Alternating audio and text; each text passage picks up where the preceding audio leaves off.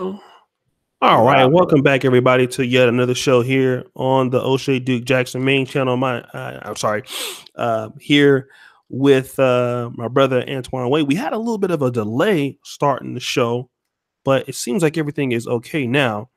And we have a really good show today.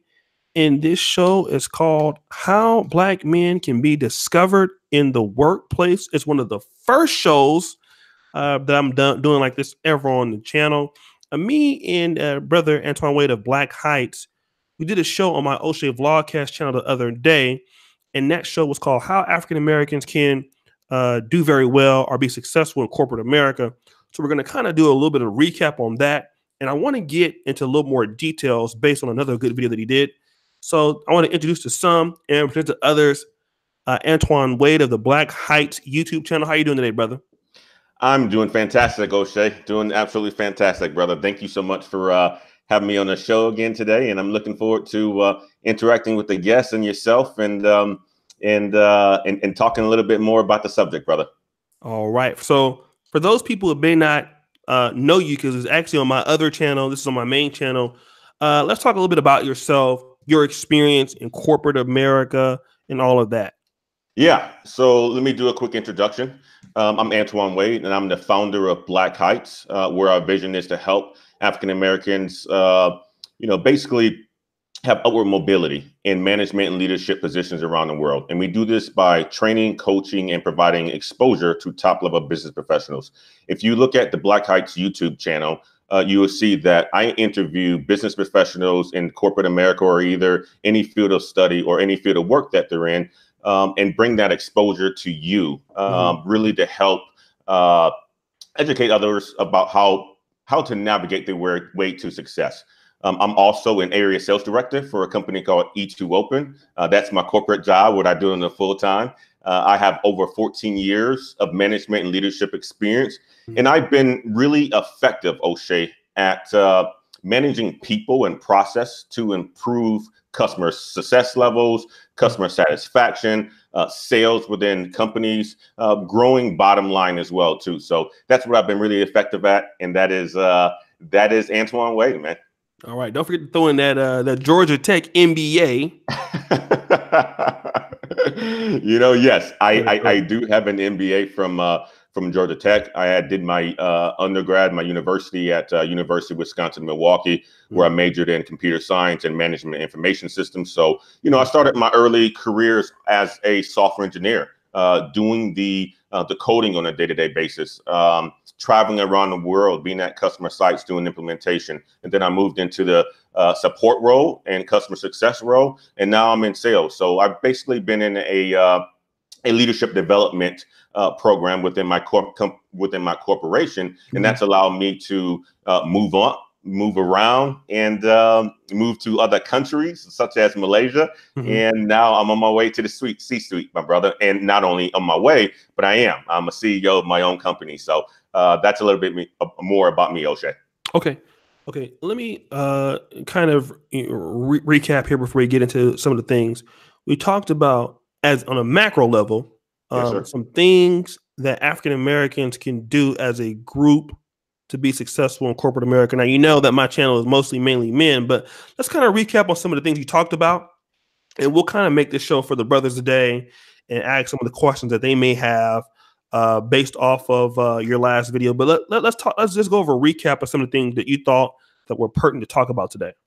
Yeah. So that previous video, I talked a lot about perception, and that's the number one rule, right? It's how, and, and you think about perception is how people see you, how people hear you, and what the how people feel you, right? The energy that you put out, and that's very important. And and then we went into, you know, based on perception, how you can control the narrative of that perception, right? And a lot of it has to do with your your appearance, what people see from you, right? How to dress and things like that. And you know, we talked about understanding the company's policies. We also talked about being moderate and being at your best. We talked about communication, what people hear from you, right? Mm-hmm. Um, you know, speaking English, you know, cons- communicating pre- precise and concise communication and using proper English, right? Using uh, not using slang and things like that that you would talk around with your homeboys and your homegirls and things like that. It's just making sure that you're using your the situation and making sure that you uh, uh, uh, the situation is uh, uh, apparent at that point in time to use the proper English, right? And and really, at the end of the day, it's about this, uh, Oshay. It's about knowing the game, right? At, at the end of the day, it's knowing how to play the game, and all this is is teaching others how to play that game. If I was to kind of go into the next steps, Oshay, um, uh, it would be around how to interact with your peers and your seniors and things like that. And we can go into that when you're re- ready for it, brother. That was a, a recap of the, the last video in a quick 90 seconds. All right. Okay.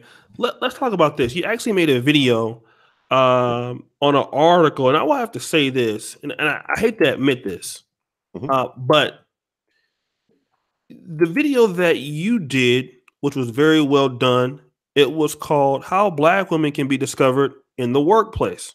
Mm-hmm. And I find it fascinating that Black women uh, care so much about themselves that now it, it, it, in, they actually were giving tips to one another, right? Mm-hmm. Let's let's talk about that just as a whole. Like, why is it that black women, if if they feel that they are not represented in the workforce or represented in the certain situations, how is it that black women can somehow find a way to stick together and get themselves into certain situations that they would not be in if they didn't say anything. Yeah, if I was to say, based on my experience, Oshay, on, on black women in, in, general, here's the thing, right? Black women are facing a double-edged sword within corporate America. One, um, there's so much that are against them, but they still seem to be making it and continue to to to to to uh, enter the leadership positions at a fast rate. And a lot of that is because of diversity initiatives and things like women in network, right? You see not just only black women sticking together, you see that women in general sticking together, right? You think about the Me Too movement, that's been huge. And what you see, you see the same sort of thing within corporate America as well, too, right? Because there are a lot of programs and a lot of initiatives that are out there for for for women in general that um, that really helps them focus on what it takes for them to move up to the to the higher levels within uh, uh, corporations, right? So if you mm-hmm. think about from a statistics perspective, there aren't any black women today that are in a CEO position in a Fortune 500. There, there is none. There's men. There's about three men that are in that, that position at this time right now, but there's no African American women. But you do have women who are in senior vice president roles, executive vice president roles on their way up. And mm-hmm. this whole diversity initiative is actually helping them come up that ladder, right? Mm-hmm. And climb that ladder. Um, if I was to say why black women stick together, because they're they're they're on their own, and the most part, right? You think about it, right? from uh, uh, uh, uh, who are they working with? They're working with a lot of Caucasian males. They're working with a lot of Caucasian guys. The thing of or uh, black guys as well. You think about it from a black male perspective. The thing that we have to deal with is from a black male perspective in corporate America is just not fitting in with that group of white guys, right? Maybe mm-hmm. some white women. Black women has it like this, right? They they not only don't fit in a lot of the times with the the white guys, they don't fit in with the white uh, women as well. A lot of times they don't fit in a lot with the the black guys, right? So there's certain things that are completely against uh, uh, uh, uh, black women within corporate America just make it so difficult for them, and they understand that, right? So they mm-hmm. team together to really help with that image, and it's really helping to uh, boost diversity within corporations, man. Let, us talk about uh about about black men. I want to kind of use them as a um as a as a uh as an example. Yeah. Um, this article that uh you did a response to, and it was written by the Harvard Business Review. Did you you wrote this one right? Yeah, yeah. It's called the uh so the article was basically called the black ceiling and why African American women aren't okay. making it to the top in corporate America. And it mm-hmm. really just goes into some of the things that are against them. And if you think about it from the CEO perspective, our last African American CEO for a Fortune 500 company, excuse me, guys, was uh, Ursula Burns, right? Okay. She was the uh, CEO of Xerox. And you know, when she left the company, I believe it was in 2016, a lot of people were wondering if there was going to be another African American woman woman that was behind her that was going to take that role in a CEO suite. And the narrative behind it was that no, there wasn't, right? There was not one. And Ursula said for herself is is in how she grew up. She grew up in a single parent home. Her mom washed clothes and and things like that. Was a, a caretaker. Uh, she went to uh, public schools, but she really focused on her education. She was in STEM. She was in math. All mm-hmm. sorts of this sort of stuff to get a higher education. But it takes years in order for you to get to the C-suite, and you have to continuously build on it. And what her thought process was was that for mm-hmm. one, corporations aren't focusing on the um, the the the uh, unprivileged individuals. Once she got an opportunity because she did an intern internship, so her corporation started to invest in her and continue to invest in her. But she was in that role for working for Xerox for over 17 years before she made it to the C-suite, and you don't have many African Americans in that role today or mm-hmm. taking that path today, right? So that's uh that that was kind of what the article was about, sir. Okay, let's transition that, and uh, and we're using them as an example because you know my audience is specifically black men. Yes, sir. One of the things you're talking about in this, uh, this video is that these black women, when they were interviewed, 59 of them, I believe, yep. they had a problem getting noticed. Yes. Going from unnoticed to getting noticed. Yes. Now, there are some other things you talked about taking higher risk, um, overcoming the fear of being scared. You talk about your own personal situations about what happened in Malaysia. We'll talk about that too. But you know, uh, uh, uh, you know, a lot of black guys, uh, brothers, when they get jobs, they might be decent performers, might be overperformers in certain aspects, but are they getting noticed? Let's talk about that. How how does one do this? Yeah, I think uh, to get noticed, it starts with this, right? Kind of going back to our previous video, it starts off with getting your foot in the door and, and controlling the perception of you right? Mm-hmm. When you're first mm-hmm. coming into any sort of role, you still have to think about that. Perception is absolutely everything. It's how people see you, how people hear you, and then what the energy that you bring out or you put out as an individual, right? So those are the three things, and a lot of that is controllable.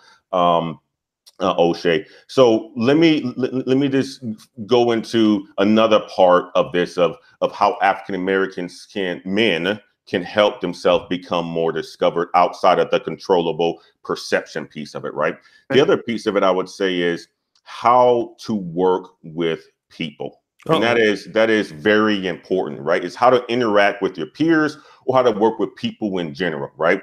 Um, here's the thing. You want to be friendly, right? You want to bring a positive energy and you want to be that person that others want to be around, right? I know. Say it again. Say it again. Say it again. They didn't want to hear that. Say it again, brother. You have to be friendly. Okay. You have to bring a positive energy, and you want yep. to be the person that others want to be around, right? That's just what it is. That's how to interact interact with people. It's how to interact with your peers and so forth, right? You mm-hmm. have to be friendly, guys. I know a lot of the times, even myself, right? There's times I don't want to deal with the people. So I walk around with a little bit of a harder face, right? My hard face is like this.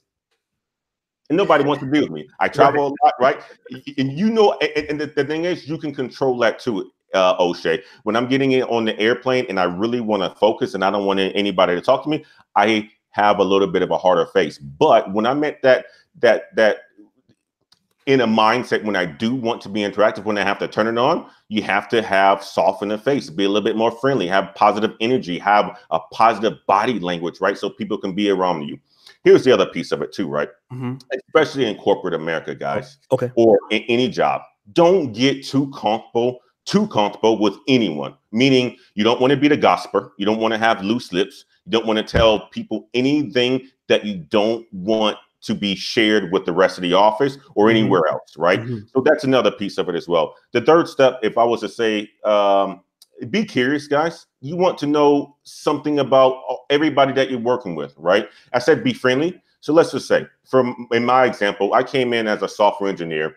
Okay. Uh, working for a company, and there was about six of us that joined the company at the same time. I'm the black guy. We had a um, a Puerto Rican named John. We had another um, a Peruvian named Vadek. You had a Indian lady named Chatal, um, a, um, a, a Irishman named Stephen, and you had uh, a, a, American Caucasian um, named Garrett, right? And every single day, these guys decided they wanted to go to work. I mean, to lunch together, right? So mm-hmm. I had to be part of the group, and I was part of the group because we all came in together. We were working on somewhat of a similar project and it's somewhat of a um, uh, in, in a similar room, right? I had to be curious about these guys because that's how you learn so much about people. Be curious, want to understand what the story is, and what you're going to find out, the guys, is that they're dealing with challenges in your in their lives. This is the same as you're dealing with challenges in your life, right? There's mm-hmm. always family issues going on in other people's life. We have that perception that people have it better than us. Mm-hmm. It's not the truth, guys. It's mm-hmm. not the truth. So be curious. What I would also say is this, guys: be professional at all times, right? You will have people try you. And I know this is something that uh, uh, uh, uh, uh is going to come up, especially in corporate America or anything else. You're going to have people to try you, right? You're going to have people that's going to think that they're smarter than you. Mm-hmm. You're going to have people that think that they're going to be better than you, mm-hmm. right? You're going to have people that don't potentially include you. Mm-hmm. Challenge yourself to remain professional at all times. Oh, so you did a a, a wonderful video the other day uh, talking about um, you know, the strategies of of when to say something, when not to say something. Mm-hmm. Um, it was that uh, video that you put out about uh, uh, the situation that you and I talked about. Right, right, the right. thing, right? Mm-hmm. Um, and, and you hit on some very good points on that, right? And here's the thing, right? You're going to get challenged, guys. Have a tough skin, have a mm-hmm. thick skin, know when to deal with it, when, but always stay professional, guys, at all times, and assume positive intent, right? Mm-hmm. Um, what I would say, if, if something does offend you, check it. And what I mean by checking it, just have a side conversation. I'll tell you something that happened to me in grad school. Okay. Um, I was struggling on a uh, an assignment, and it was something where we talked about uh, the rise and run of a slope. I haven't been in math for years, and an individual, he was a Caucasian male, uh, he's a friend of mine you know, he made a comment while we were at lunch. He would have said anybody who's struggling on something like that probably shouldn't be in this program, right? And when he said that to me, it got under my skin, right? It was almost like he was taking a shot at me. So what I said to him, I can remain professional, and I just said, "So what are you saying, uh, Paul? Are you saying that I shouldn't be in this course right now or this class? You don't think I'm fit for being in this class?" And it really shocked him, right? Mm-hmm. And you know, he had to come back with an answer. No, I'm not saying that, Antoine. It was just it was just a sarcastic thing. Eh, okay, at the end of the day, I checked it. I controlled that situation. I still remain professional. You know, there's times you're going to want to go off the horn and give them the middle finger and curse people out. That's mm-hmm. not it, guys. That's going to look bad on yourself. So keep your emotions from out of it. Check it if you need to say something because silence means acceptance as well, right? If you're going to remain silent on something and somebody says something, it means that you're accepting it. And the last thing what I would say to Oshay is this is uh, be participative, guys. A lot of the times we feel that we're on the outside uh, as an African American because there's not very many of, it, of us in these positions, wherever you're working for white collar, blue collar uh, uh, uh, uh, positions or, or, jobs, right? Um, be participative, guys. Go to happy hours, have lunch with your friends, have dinner. Now, there's certain things that you need to do to control that when you do go have lunch and dinner and stuff like that, and how you can make sure you're doing more listening than you are speaking because you don't want to embarrass yourself. Um, but you know, those are the things that I would say, uh, uh, Oshay, right? Be friendly. Don't get too comfortable with anyone, right? Don't be that gossiper. Be curious about people wanting to know their story. Continue to be professional at all times. Um, be authentic as well, right? Mm-hmm. Know your strengths, guys. You got to understand your strengths. Um, you, you know, if you don't know your strengths, talk to somebody. Talk to your mom. Talk to your cousin. Say, what is it that you think I'm good at? For, for instance, when I look at Oshay and I've watched his videos, dude, you are a great moderator. You are a great questioner. You're a great listener because you have an ability to listen to what people say and make a response. And sometimes that's very difficult to do, depending on who you're talking with, right? Mm-hmm. Um, but pulling the message, but understand what your strengths are and be authentic to it, guys. I know a lot of it is very difficult. You walk around and you see people on YouTube or you see people that are have it going on, and you're like, gosh, man, I need to change this, this about myself. No, you can change or you can modify, but just be yourself, guys. Be authentic. And last thing I would say again is be participative, brother. Be participative. All right, that was a lot of good information there. Let me go ahead here and just shout out a few people, and I want to kind of build on some of the things you're talking about. Yeah. Uh, shout out to uh, the brother Wood, Willie Littlejohn. Thank you for your ten dollars super chat. The Black Sector Investor, Master Your Craft Brothers. Thank you so much. Uh, and now let me just say this real quick. Uh, we know that corporate game isn't for everybody. This is a very niche, particular show. Okay, if you don't want to get to be discovered in the workplace, there are some brothers in here that do. So I know that most people are appreciative of this. Before I can say this, if you're a person and you want to have like a negative comment or something like that about, you know, then just realize this show is not for you. You don't have to come in uh, with such uh, energy. So we're just saying that for those people in the future who might want to do something like that. So let me just kind of get back to this real quick. Um, you talked about wearing the happy smile. Yes, sir. All right. Now I know that every day you don't feel like doing it. Yeah, of course. Uh, let, us talk about that because see, there are some days where things are easier um, because you're in a good mood. Mhm. Corporate America or any job, or even on YouTube, um, you because this is sort of you know my job to a certain position. I have to do things even when I don't want to do it. How do you keep that particular energy up on the days where someone's sick, daughter sick, you had to argue with your wife, all of these things? How do you muster up the strength to still do that and perform? Because you know other people don't give a fuck about it. I mean, excuse my language. They don't care. The outside world doesn't care. They want you to perform anyway. How do you still do that in bad circumstances? I would say this: you, you have a goal, right? You, you Mhm. you have to continue to focus on your goal, but the most important thing is understand this, Oshay, and understand this to people who are watching this in the chat is you are your own brand, right? And brands are either good or either bad, right? And you are your own brand. You represent yourself or you represent other corporations and things like that. So you know you have to you have to bring it. You have to know when to turn it on, Oshay. You just have to. Right now, I know there are times where you know your daughter's sick, your wife's not uh, doing well. You know, you're probably going through a divorce or things like that, and these circumstances do affect you. But if you have a goal and you have a mission, just stay on it, guys. You have to stay on it, and that's the thing, right? It is about what your mission is. Don't let any of the other stuff sidetrack you. If you know for sure what your mission is and your goal is, continue to go after it. Continue to go after it. You know, you wake up and you, have a stomach ache. You know, I, have issues like that when when I'm dealing with a lot of stress. But you know what? That doesn't stop me from getting up and knowing where that I have to, you know, make dollars for my family in order. I have to sell a software in order for me to have the quality of life that I want. Um, you, you just have to have something that you're after, Oshay, and that's going to give you the focus to continue to build that drive towards whatever it is that you want to accomplish, guys. I, I, I there's there's always going to be challenges. There's no perfect time to do anything. Matter of fact, I think about this. I tell you a quick story, right? Um, back in 2014, that's when I entered the grad school. During that first semester, uh, my wife and I got pregnant, and my daughter was born um, within the first semester. And she was born with a heart condition, right? Um, And she had to have open heart surgery within the first uh, three months of having life. And it was a major open heart surgery where she was in the hospital for about 19 days. I know my goal was to continue to study. I could have gotten the, I got the pass to you know drop out and continue to focus on my full time job that I had, um, working you know 50 hours a week, going to grad school uh, on the weekends, dealing with a, a a wife and a daughter who's in the hospital for 19 days. I was at the hospital every single day. I didn't sleep very much, right? Um, I didn't pull out. I talked to my my my my uh, my group mates. I've talked to the professors, and I said, "Hey guys, this is going to be the situation. I promise I won't miss any class. I'm going to continue to contribute."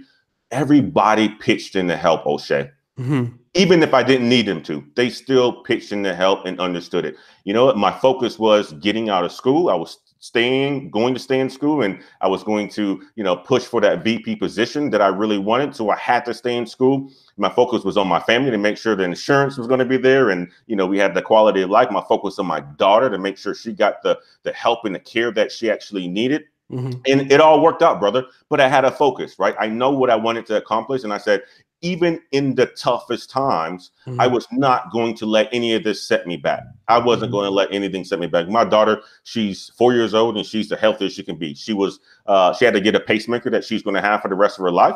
But guys, there's people dealing with tough situations all the time. Stay focused. You have to have something that you're going after, and you have to stay focused on what it is that uh, you really want in life, man. No, I man, that is definitely uh, uh, a really, really, really, really, really, really a good good example of of staying focused. Even you know, I mean, a congenital heart condition, something like that. Yeah. Wow. I mean, and, and, and, still you don't let it, um, you know, let that bother you. Let me shout out to a brother uh that's been here for a long time. Uh, brother, wake the hell up. He says, and I, he said he, he gave a super chat yesterday, but I missed it. Let me go ahead and read it to him. He says, uh, here, master your craft and acknowledge the learning profession you're in so you can uh, grow your success and eventually run a business. Shout out to the guests on the panel. And guys, to, to subscribe to Brother Black Heights, all that you need to do is go into the description.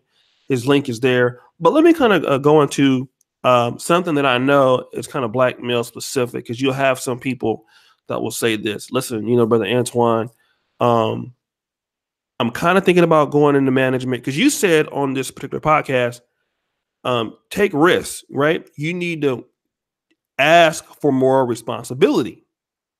Uh, and I know when I was working like in, in, in some corporate jobs before, you know, the supervisors, in some cases, they will be on salary where the employees will be on hour, hourly and with bonuses. They could actually earn more money than the supervisors, depending on the situations. Yes, but a lot of supervisors uh, did not really want the extra responsibility because yeah they know how to they can perform themselves but then taking the responsibility of other people was something like i, I don't know if i really want to do that you know? Um I, I, I would like to be discovered but do i want to take this responsibility of you know taking risks? Because what if these people fail then i'm failing and i'm out of a job let's talk about this risk taking strategies and, and how did you know that you wanted to be in charge of teams in charge of stuff like that let's talk about that yeah so absolutely Oshay. great question um, i would say this you want to continue to move up in the world you have to take risks you have to put yourself out there you have to learn what it is first of all you have to have a goal right? You have to have a goal on what you want to go after. So I'm gonna preach this all the time, guys. You have to have something that you're going after. Um, I wanted to go in management because I felt like I can relate to people. And I would say, quite honestly, it's where the money is. At the end of the day, it's where the money is. You can make a whole, a lot of money within a management position. Matter of fact, the management field in general by 2026 is supposed to grow by 700 or 7% or something like that, creating okay. over 216,000 jobs by 2026, right? Wow. That's where the money is. That's where you want to be. So being a leader of people and not being just a follower itself. And that's what we teach at Black Heights, right? It's part of the training. Um, it's part of the uh, the coaching that we do, and it's part of the exposure.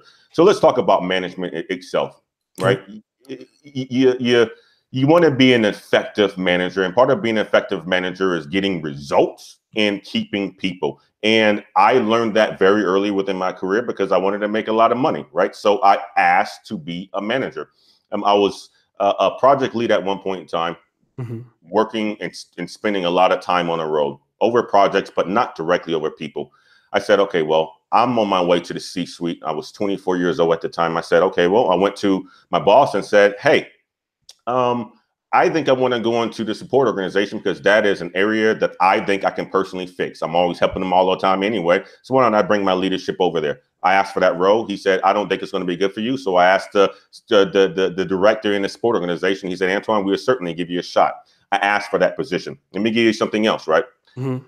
When I was in grad school, um, I went in with the goal to be a VP by the time I came out. Uh, before I graduated, we, I graduated in December 2015. By September 2015, three or four months before I graduated, um, I was already working for a new company. Okay. Um, I was a vice president of customer success and customer support. Mm-hmm. And my first day of the job was on my birthday, and they sent me to Kuala Lumpur, Malaysia. Okay. I went out there, uh, found what was going on within the operations, talked to a lot of people. and guess what? I came back with a lot of information. Three months later, mm-hmm. uh, after I graduated, um, we had a big issue within the company uh, with attrition. A lot of people were, within the Malaysia office was um, was resigning, right? Because they felt like we were we were you know offshoring a lot of it to India. They felt like their roles and responsibilities were diminishing, and it was a big problem. And we had a GM who resigned, right? And uh, they didn't have any leadership in the office, so they were looking for somebody to go out there. And I said, all right, well, why, why, why, why can't it be me? I enjoyed my time in Malaysia. Never been there before. Prior to that, to prior to the uh, time starting, but I asked for that position. And guess what my boss said at the time? He's a uh, you know CEO of our company. He said, Antoine, that's a wonderful position. Did you talk to your wife about it? I said, no, not yet, but I will talk to her. And I talked to my wife about it. It was the best decision that we ever made. Now, mm. think about how that set up. I asked for it.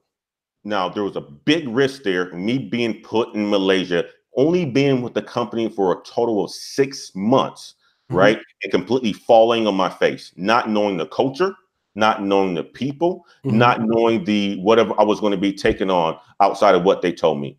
Um, I went there with an open mind, learned a lot, and I killed it. Right by the end of the time, you know, I left there in July of last year. Uh, Malaysia is our biggest office. We moved our office. Um, it's 109 employees. When I had it, it was 84.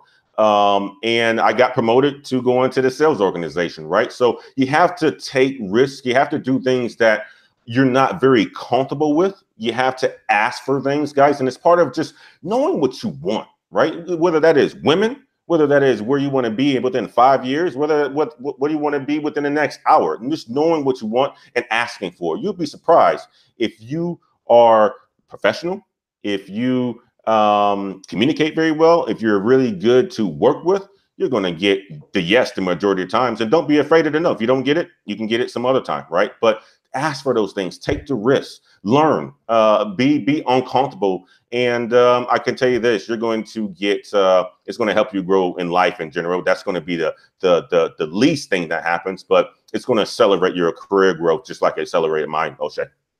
Okay, okay. So let me let me kind of talk about um some of the other things that are written down. I want to thank yeah. you guys for being in here. Get the likes up on the video. Um a lot of brothers I noticed. Uh thank you, brother Cooley High, 499. When, when we look at black men, and obviously you're African American man too. Yes, sir. When I, I, I when I look at black men, I don't see like oh, okay, the ability's not there or the willingness to to go out and work is not there. But I think that in, in corporate America, what black men think is like, oh man, like, you know, I am afraid. Like, you know, if, if I, am somewhat fearful mm-hmm. that I know that I could do this job, but I mean, you know, like right now, I'm, you know, I'm making more money than probably what I want to need to do. And if this doesn't work out, then what is next for me? You know? So let's talk about, you know, the the the overcoming of being afraid. And I know that you're you're you're you seem like you're very fearless in what you want to do, but how do you have that mindset that okay, I know things may happen, but I can overcome the fear of of, of accepting the new challenge. Mm-hmm. Let's talk about that. Yeah, I would say this, right? Um, you know, fear is something that stops the majority of Americans from doing what they want to do. Uh, unfortunately, it's built into our media, and our media sells based on fear and and uh, um, you know, I don't want to say well fuckery, right? Um, right, yeah. At the end of the day, this is what it is, right? Uh, y- you know, here's the thing: the majority of Americans haven't even left the state that they lived in. Yeah. Right? It's because of fear. A lot of it could be because of capital and things like that, right? There is nothing that you're going to learn without fear being in place, guys. So here's the thing. Just do it. And that's what I love about the whole Nike slogan is you just have to put yourself out there and just do it. And what you're going to find out, you're going to learn. Right. And a lot of it is just about this. It's about experiences and wanting to learn.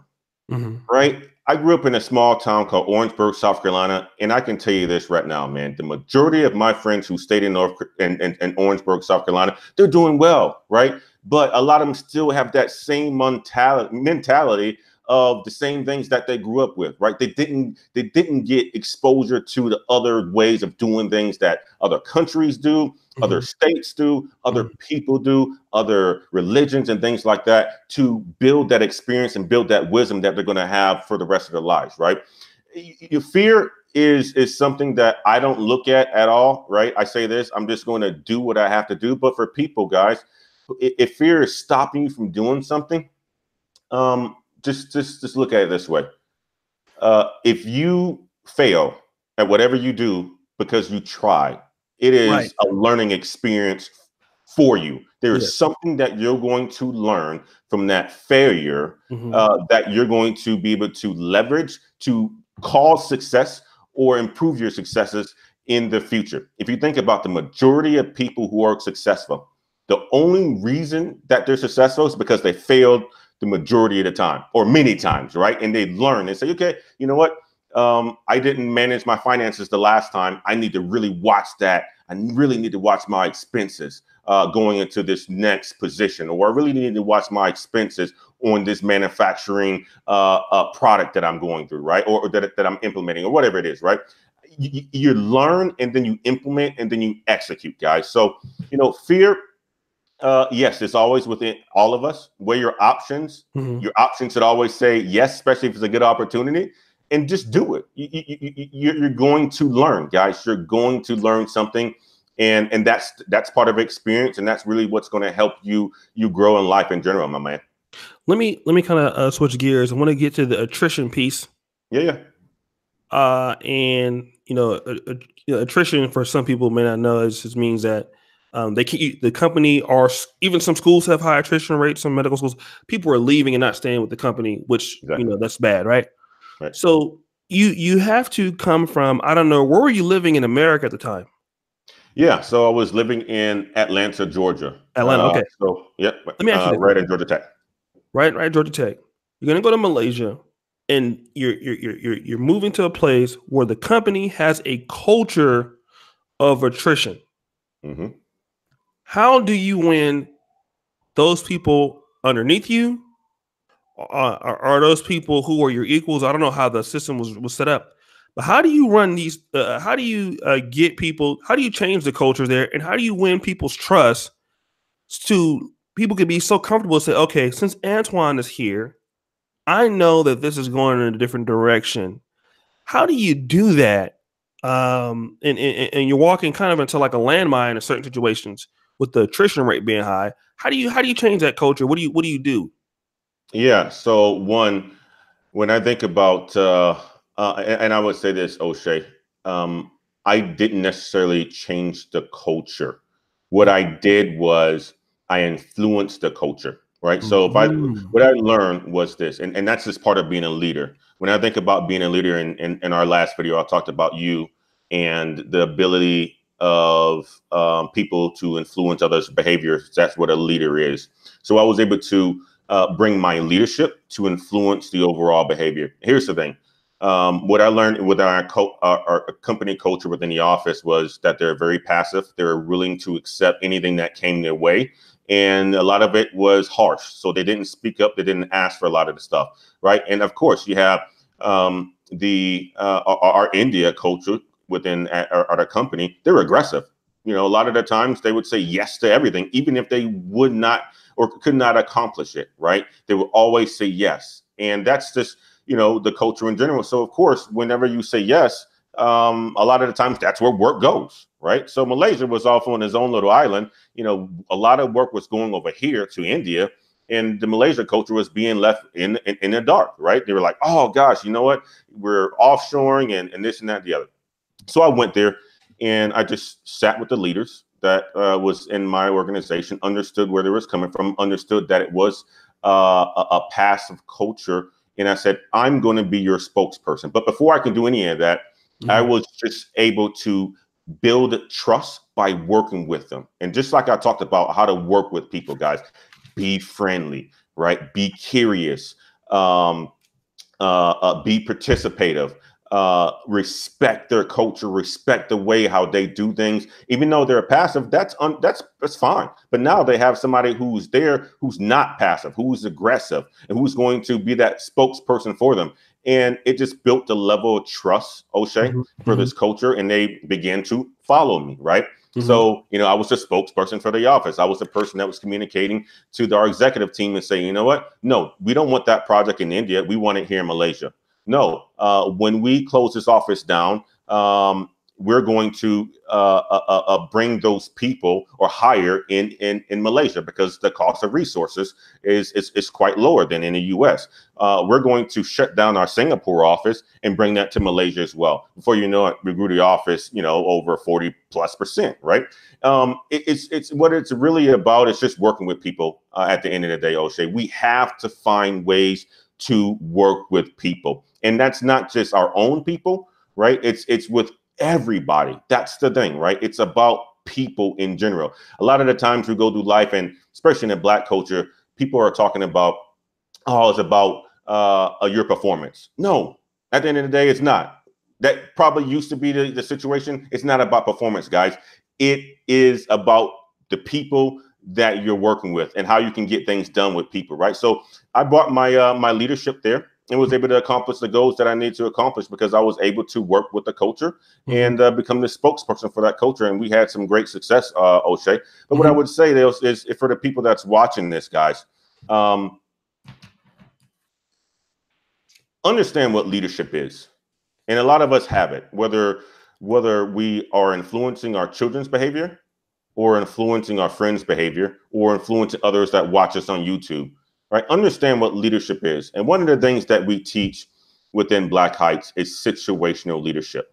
And part of, part of situational leadership, which is a leadership theory or a motto that's been around for a long time, right? It, it's withstood time. It's right. The only, if you were to think about the world today, Oshay, the only thing that's constant in the world is change, right?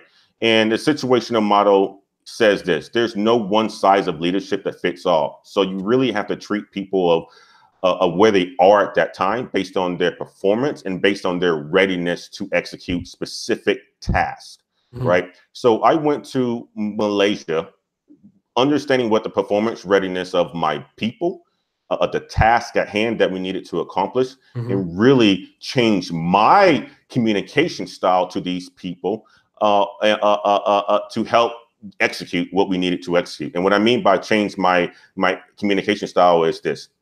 When you hire somebody the first time, right? You bring somebody into a role, you don't treat them the same exact way as you treat the people who's been with your company for a long time. And what I mean by that is this, right? You give them more directive. You say, this is what you need to do. This is how you need to do it. Mm-hmm. If you were to give that same sort of instruction to somebody who's been in the job for four years, who's a high performer, you know what they're going to say? You're a micromanager, right? No, you want to delegate to the person who's been at the, you know, the company for a long time and is really good at their job, right? So it's really about situational leadership. And I was uh-huh. what I was able to bring uh, to the organization, look at every single individual, the performance readiness, the task at hand, and mm-hmm. execute that, right? you execute that right so that's how that's how i was able to have success and that's how other people can have success as well too brother how how are you able because um i i noticed and i um i always wanted to be like a general manager of like a football team uh, in yeah. the nfl right and i kind of when you like situational leadership and sometimes when i look at you know espn and i see uh you know when the draft is coming or certain cultures i'm like yo this like this GM is stupid. He has no idea what he's talking about. And and and um and so I, I guess I want to talk about that uh, also. You're talking about situational leadership. Number one, were you the only African American that was in Malaysia this time, or? Yes. So I was the only African American that was in Malaysia at that time. Yes, okay. absolutely. So why I was there, uh-huh. we brought um, Essence Nance, who is on the Black Heights channel, talking about her experience as a uh, a senior accountant uh, in Malaysia. She got an opportunity because of the success that I had, and mm-hmm. not only that, the uh, ability that my company has, and the want for them to uh, bring exposure to African Americans with the diversity initiatives, but also just um, uh, uh, our leadership development program. So yes I was the one at the time when I first got there, but uh, on the tail end, six months before I left, we brought in another African American there as well, and she was a lady. Mm-hmm. So it, it's it's interesting because like okay, for example, uh, like on my site, right, when it comes to like you know uh, Rom or Alan or Donovan, I never have to really tell them anything because I know that they're good at what they're doing. So I never tell them you need to turn your. I don't. I don't have that problem. So uh, it's it's it's funny. I've never heard of this leadership theory, but mm-hmm. um, now that I'm looking at, it, I'm like, oh, okay, I didn't know I was using it myself. But let me kind of get to this with the situational leadership theory. You're there. How many employees are there that you need to kind of look over? Yes. So at the time, it was about 80, 89, I believe. At 89. the time when so let me right there. Yep. 89 people. Mm-hmm. How do you gather the data on who? Because there's 89 names you need to know. Mm-hmm. 89 probably roles or some of the different or the same. So there's a lot of moving parts here. How do you how do you how do you be able to implement the situational leadership on 89 people, mm-hmm. people you've never met? How do you do it? How do you gauge it so quickly? Yeah. So Here's the thing when you're going into a position like this, you have to be prepared. So I had to hit the ground running uh, from when I first got there, Oshay, right? It wasn't anything that I had to do beforehand. It was something that I did when I first got running. And what I did, Oshay, was I spoke to everybody within the office and I asked questions. Hey, what are you good at? What are your interests are? um, how long you've been in this role. And a lot of this information is coming from HR too, right? So I have this whole spreadsheet with picture people's uh, pictures on it, their names on it. Of course, the names are things like Hawk Leong and uh, Su Fong and things like that, right? Mm-hmm. Um, mm-hmm. and, and, and, and, I'm not really good at names, but uh, you had to have that information in front of me. And then when I when I was able to sit down and talk to people, I really was under, able to understand where their where their performance assessment was based on what I thought. And then I was able to talk to the managers to really show them what situational leadership was, right? And have them give a performance assessment as well and on a task and really teach that to them as well. And not only that, we didn't just teach it to the leaders within the organization, we teach it to everybody, so, right? So I said, guys, this is this is my leadership style. This is Antoine Wade, right? Mm-hmm. Um, this is how I lead people. It's a motto that's been around forever. It's mm-hmm. taught into Fortune 500 companies. You'd be surprised.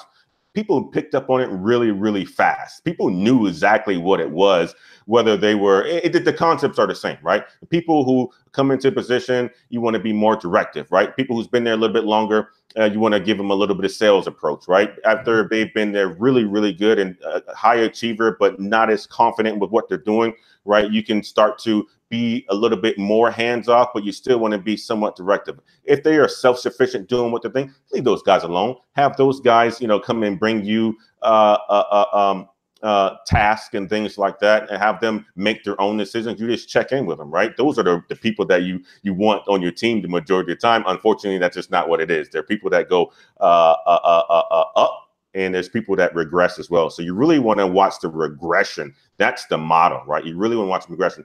But so uh, the, the, the what I'm saying, Oshay, is that I explain what it was to the organization really fast, and you can do that within a matter of five minutes, mm-hmm. right?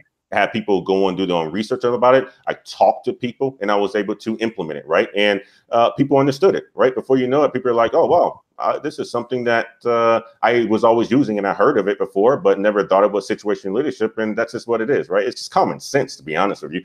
And that's how I was able to pull it off, Oshay. Uh, sitting down, talking to people, understand what the performance readiness was, understand the task that they had to execute, what their roles and responsibilities were, and then uh, uh, putting my strategies, uh, working with managers to have them watch it and have me watch it as well, too, man uh, let me kind of get on to this. And guys, thank you for being here. We have 121 people watching right now. I yes, like sir. for you people uh, in the chat, you great people who are here today. I know that uh, you know a lot of things going on right now in in the Black YouTube space, but I wanted to kind of get back on this month back to some of the strengths of the channel. I know like these videos typically don't get like you know five or six thousand people in the chat like the other hot topics, but it's the best information there. So I would like to see you brothers out there who appreciate this kind of content. Why don't you go subscribe to Brother Black Heights uh, YouTube channel? Uh, three more will get him over to about 200. So I would like to try to get him within the next month up to a thousand subscribers, so his channel can go ahead and blow up. Because again, we want the we want people uh, with the talent in Black America to do what? Be wanting to produce content for us because they know they can be successful in this market. So the one way that we can show um, the best of, of, of Black America, uh, Black Americans, especially some of those that are, that are young, is we want to be able to subscribe to their channels, watch their videos, and tell what people about them, because we want to be able to say, okay, you know, at the end of the day, this brother knows that he can come and he has a built-in audience that's that's that's that's willing to, you know, take the information and help him grow. And as brothers like him are growing, we can bring in more professionals uh, that would like to talk to us and share some of the good information with us. So, but we need to first invest in the subscription. Subscribing to the brothers channel is right there. 202 subs. Thank you, brother MK Team. Please tell me that you subscribed in the chat. I will shout you out uh, before the show is out. And I do thank you. And hit that notification bell. Um, let me kind of get back to this uh, point because I got a lot of things uh, written down. Um, you, you did talk about the personal one-on-one discussions here and on the personal uh, video you did. Um, you talked about asking professional guests, but one of the things that you did mention is uh, working on your weakness or weaknesses rather, and then using that ability to make them stronger. Mm-hmm. Um, I, I, found that as a, a, a very very very good good statement. Mm-hmm. So I want you to look back at yourself if you can. Yes, sir. Uh, kind of take uh, in in retrospect, looking back at, at Antoine Wade and his management style, what are some of the weaknesses that you can see or that other people saw at you at the at this time that you were struggling with in Malaysia or prior? What were some of the weaknesses that you had?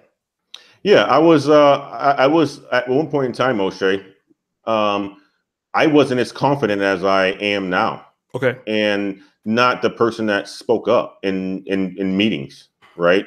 Uh, in corporate meetings. Uh, I was a person that um, always listened very well, mm-hmm. but just getting having that ability because a lot of the times i'm the only one right? And mm-hmm. being in representation knowing what that means is having the confidence to speak up and raise my hand and to give my opinion. And a lot of the times it's different from what is actually being heard guys.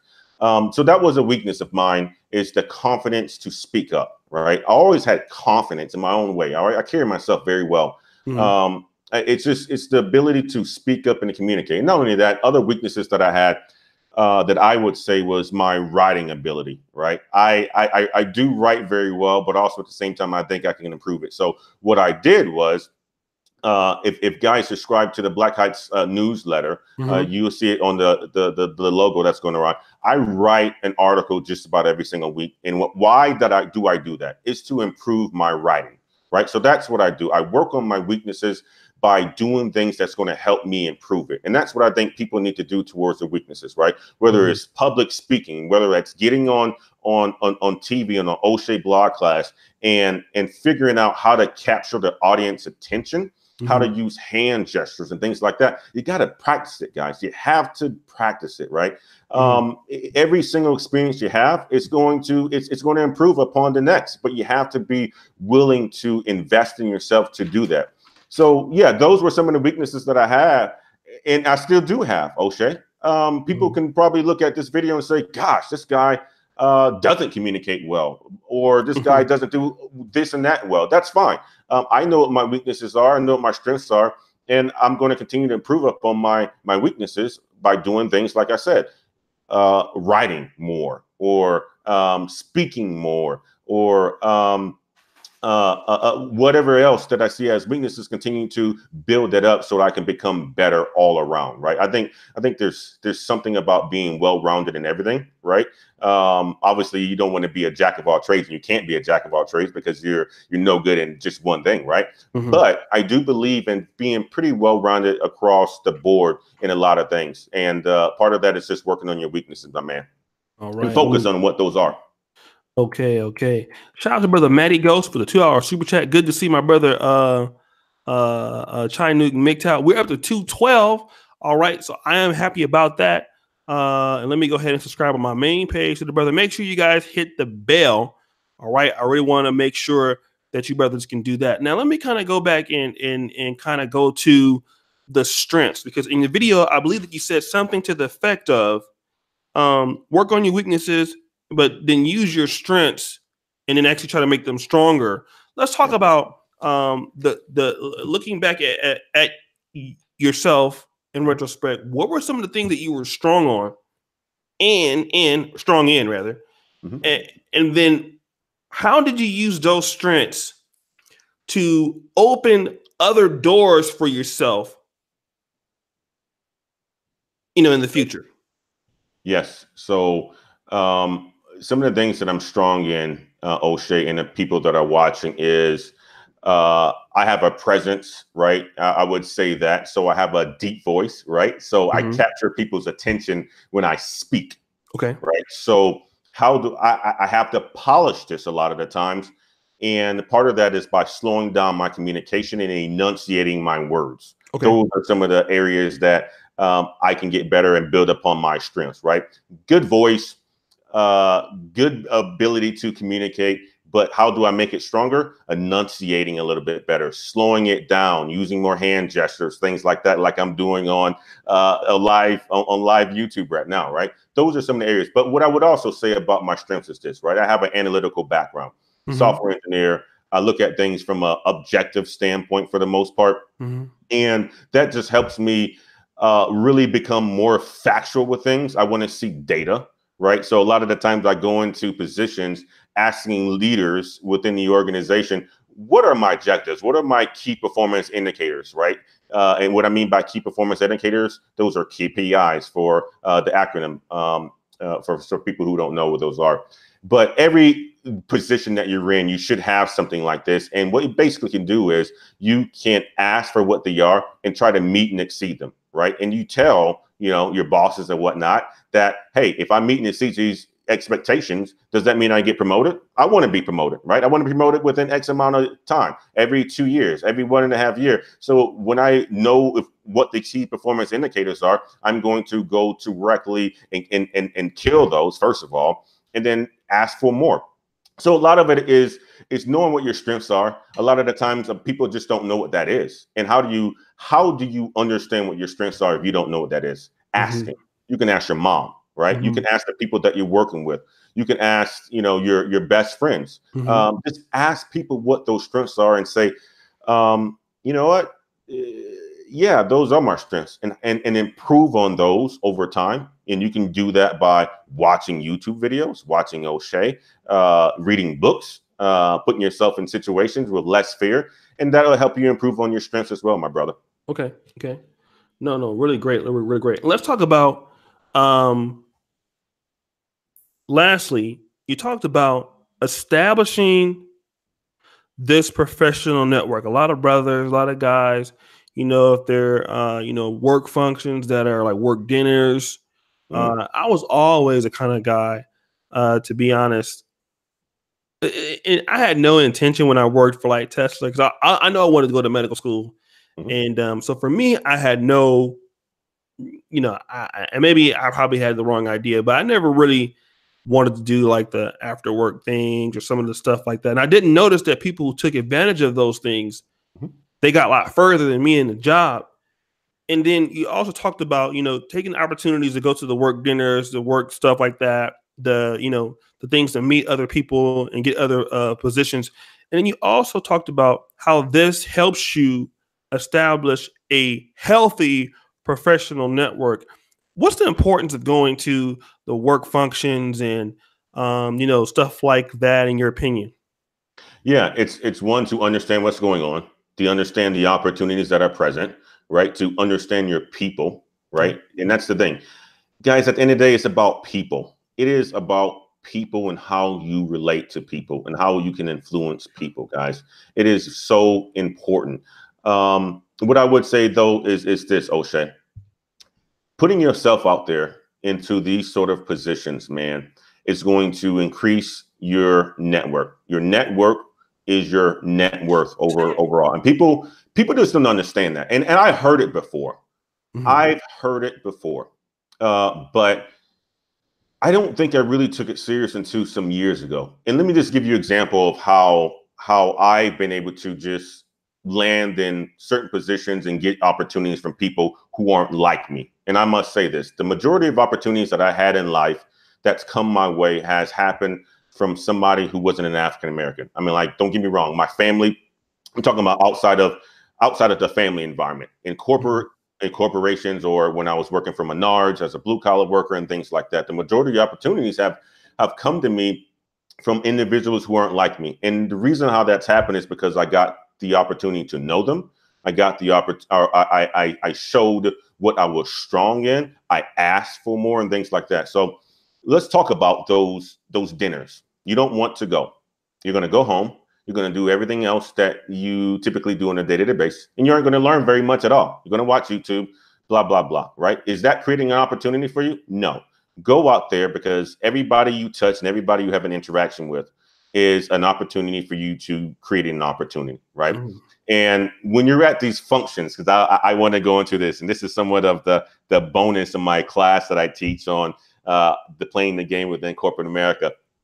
Um, you want to participate in the lunches when you go out, the dinners, and all this other stuff, right? And in in corporate settings, a lot of it, or just in work in general, you have a lot of segregation within uh, certain organizations.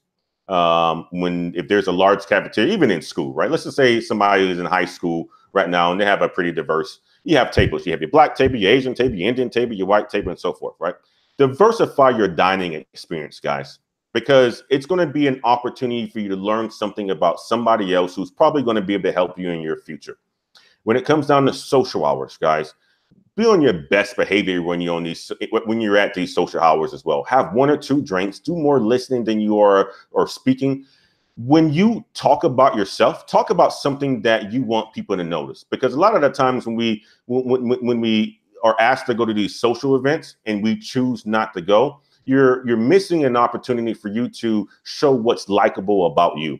It could be that you're a Dallas Cowboys fan, right? But you're controlling that perception. If I go and say I'm a Dallas Cowboys fan and that's what people know about me, at least they know something about me. They're going to say, "Oh, we walk in the room. Oh, Antoine, how's the Cowboys doing?" It's a conversation starter and so forth. It's how you meet people, right? How mm-hmm. you can engage in conversation, things like that.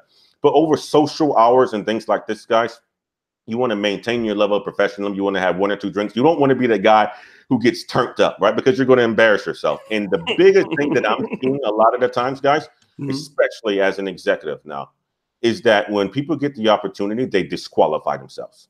Whoa, uh, talk about that. Talk about that. Talk about that. they that. disqualify yourself. Here's an example. Okay. I took my uh, team out in Bangalore, I believe it was in uh, before I left uh, in February of last year. We had this gentleman, I'm not going to call a name out, but um, uh, uh, he went around and there was this uh, uh, shrimp cocktail that had an olive on it, and he decided that he wanted to take the shrimp, eat the shrimp, and put the olive back onto the same plate where other people are picking off of. Right? It completely disqualified him in, in in my mind going forward for anything because that's just not respectful. Right? No no manners at all. Don't disqualify yourself by doing things or saying things that's just going to disqualify you. Here's another example. My boss told me this one he said he was at a happy hour one day, and it was this gentleman who was a white male. Uh, he had a team of about 16, right? They're telling stories about all the things that they did in university and all the drinking and all this other stuff. This guy told a story about uh, uh, how he was in a frat and he was, you know, pretty much inebriated that night, and a, a girl vomit, right? And one of his frat buddies uh, dared him to eat the vomit, right? And he ate it, right? And he told, he said this story in front of the boss my boss completely disqualified him for the rest of his career, right? As long as he was working, he was not going to get any opportunities. So, guys, just know that people are watching you at every single moment, right? So you just have to be at your best and know that people are watching, right? So have one or two drinks, do more listening than you are talking. Don't disqualify yourself. Don't do the stupid stuff. Don't try to be that guy that always flirt with the women at work. Um, you know, don't don't be that guy that I, I'm a big fan of you, you don't date anybody within your workplace. Preach, people brother. Do it. Preach, brother. People do it all the time, Joe. My my boss got married to his wife from work, and um, you know, but people do it. My rule is you keep that separated, guys. You keep right. it separated, and really be smart about it. Don't don't uh, don't disqualify yourself before anything happens. And a lot of that again is about the perception, you know, how you can control that stuff You want to just be on your best behavior, guys. It's like it's it's no different than you meeting your your uh, your girlfriend's father for the first time. How are you? You're gonna walk around. You're gonna be standing tall. And you're gonna be, you know, whatever the situation is. Be authentic. Be yourself. Be cool. And uh, just don't disqualify yourself. And things are always to work out for you, man. It's to work out. I can tell you this. I'm I, I, I'm the experiment, right? I did it. and, and, shout out to also the brother Wayman Brown. I forgot about his super chat. Good, very talented brother out there. Wake the hell up again, doing great things. Big up Oshay's brother. Thank you so much. And Maddie goes, I I agree. He did two two chats, one of two bucks and one of five dollars. I agree. Getting on streams with Reg the bad guy has helped me improve with voicing my opinions. My gamble on hemp is paying off Oshay. Hey man, yeah, you told me about that. Shout out to you guys. And a lot of you brothers have really been so uplifted. You know, I know there wasn't um, a lot of people because I think YouTube will hold my notifications back over here. On my other channel, probably been a little bit better. But I can I do appreciate that the brothers that are watching um, that are here because uh, uh, again, this is a topic that's not for everybody. Antoine uh, Black Heights YouTube channel is not for everybody, but the thing about it is when Black Heights gets a subscriber, he knows that he's getting a subscriber. It's a good warm subscriber, right? It's a good, it's a person that wants to be there. Yep. And and and this is important with a lot of YouTube content creators because we're operating, let's be honest, in niche markets. We're we're on niche agendas. So a, a lot of uh, a topic. While I do with black men as a whole, you have black men who have their own positions, black men who have no interest in this.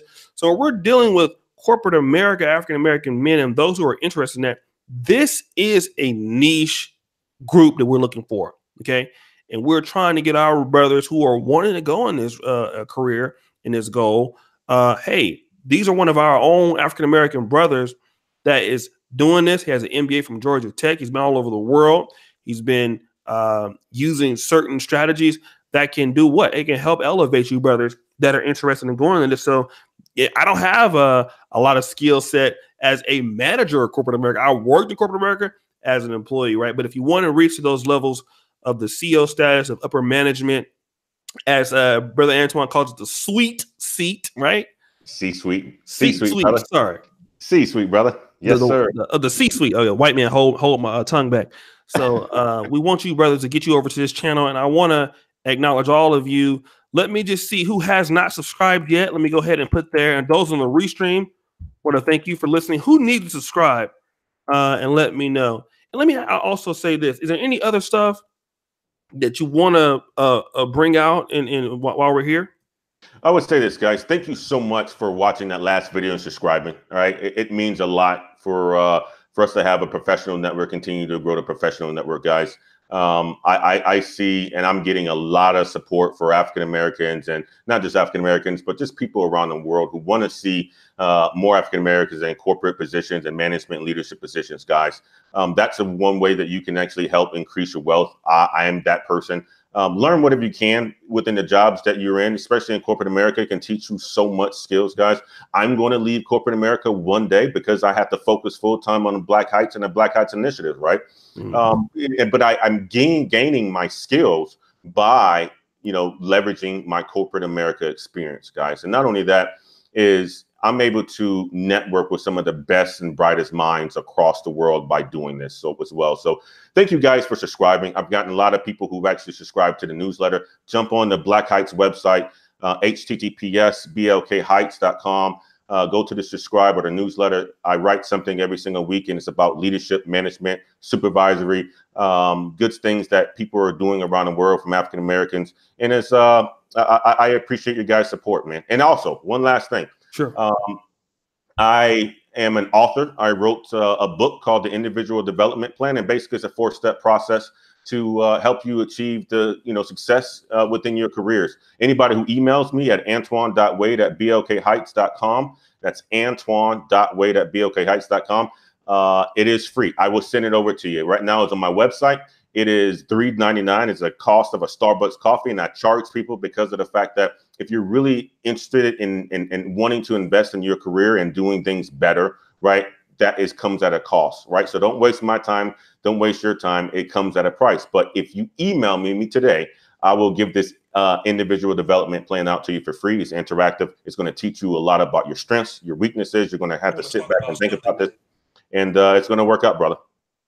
All right. Okay, and then uh, so let me go ahead here.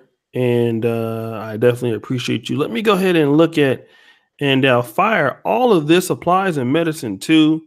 Yes, People sir. are always watching you as a black male. Great, that's an emergency medicine doctor that commented there. So shout out to brother Andow. Uh, I, I, gotta uh, uh, uh, pass my boards here, but you know, I really thank you, uh, Antoine, because you know I know that you're for so long uh, a subscriber, and we would go back and forth on email sometimes.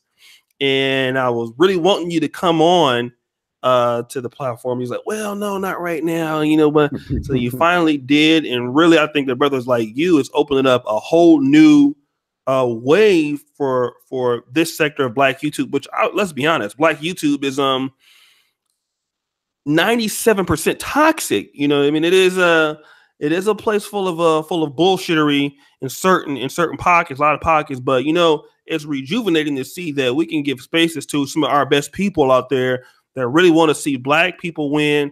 That want to see, you know, the the the brothers that that are you know big brothers that are that are uh, uh, African immigrant brothers that mm-hmm. you uh, and, and, they come on the channel as well. The Caribbean immigrant brothers, and they they soak up, soak up this game because a lot of times in certain spots, and we don't we don't know this. And I, I found this out from my brother uh my brother Chinook MGTOW in in London. They don't have podcasts like this. All right. Mm. They don't provide this kind of information to the black black British guys a lot of mm. Nigerian American people they don't provide this kind of information for you know stuff like that. So when it's African Americans is, is, is, when we put out there, you know, everybody, all the other black groups, uh, they're listening in and and they're able to come in and and and and, and participate and apply this to their lives and they appreciate it. So all of our black brothers out there, whether you're from America or from London, or you from you know African American or or uh, other black immigrant groups, you know, we we challenge you to also get involved because uh, a lot of you have information you can contribute, and, and, it's helping brothers all around the world. And you really don't know the impact, brother Antoine, that you have with the knowledge that you're sharing with a lot of these brothers out there that have these questions, but maybe can't figure it out on the blog, but they want to see it and hear it for somebody who looks like them. Yeah, yeah, and I would say this, Oshay um, yourself, man, your, your, your platform, and you just being a great leader, and uh, and not only that, just putting this sort of content in your channel because of the exposure, right? Um, thank you so much for always having me and being open to having me on your platform. Um, it, has been much appreciated, and uh, thank you guys for watching the show today, man. One. You there? Yeah, the white man was holding you back, brother. What happened? What'd you say? Oh no, I was saying, Oshay, thank you so much for uh, uh, for really having me on your platform, guys. I mean, like you had you have no idea, Oshay, of the the how many people that watch you. I came across a guy in, in, in within Malaysia when I was out having cocktails one night watching you, man. It was like, oh, you watch Oshay, he's from Ghana, right? You, okay, you, okay. Have, you have a big audience around the world and the influence you have. Um, what you're doing is absolutely fantastic. Bringing entertainment, bringing educational stuff. Your platform is big, and I really appreciate you having me on your your um, on your platform, man, and uh, helping us make a difference, brother. That's what it is. It's about making a difference step by step to make it uh, to, to, to, so that people can have success within life, dude. So, guys, thank you so much for subscribing. Antoine Wade, check me out on Black Heights YouTube, and uh, I'm sure we'll be talking again soon. Very soon, very soon. We will be uh, be tomorrow at the Super Bowl, but we'll have brother brother Antoine in sometime in the week. I want to start bringing him on as much as we can. It was a busy schedule. I think this kind of content is we push. Again, thank you, brother Antoine from Black Heights uh, YouTube channel. Make sure you subscribe. I will be on another stream in about two hours, brothers, on the Hall of Game. So, guys, thank you so much again, brother Antoine. I appreciate you, and uh, thank you guys. See you guys a little bit, a little bit. Awesome. Thank you so much, Oshay. Bye bye.